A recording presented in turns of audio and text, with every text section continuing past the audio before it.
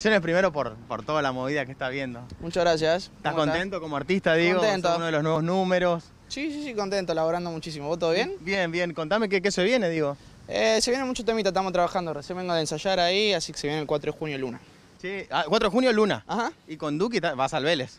Al Duco, en el Duco en Vélez, sí, sí, sí. Ya nos invitó a todos, nos dijo guárdense la fecha, así que sí. Sí, sí, sí. ¿Me, me contás un poco tu, tu historia, un poco? Porque, a ver, hoy te vamos conociendo más todos y está bueno saber, entre cuatro paredes, a veces los artistas escriben, cantan y demás. Me gustaría saber un poquito qué me, cómo, cómo nació todo esto.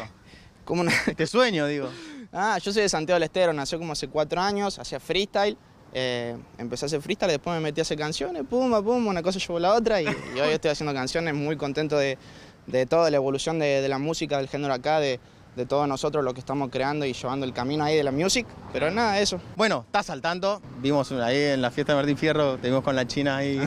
Eh, no sé si es que se están conociendo o qué se podría decir, no digo, no, no creo que sean novios, pero bueno, nunca se sabe. Prefiero ahí mi vida privada mantenerla oculta, soy un caballero, pero me fui mundial. Nada más voy a decir eso, pero me fui mundial.